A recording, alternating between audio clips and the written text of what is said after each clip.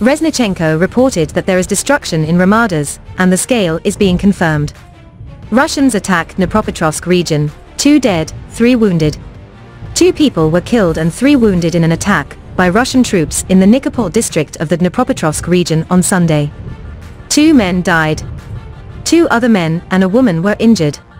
This disappointing preliminary information comes after a massive attack in the Nikopol region. In the afternoon, the Russians attacked three hromadas, joining a territorial community, an administrative unit that means a city, a village or several villages, and their adjacent areas, in the region four times Pokrovsky, Chervona Rihorivka, and Nikopol.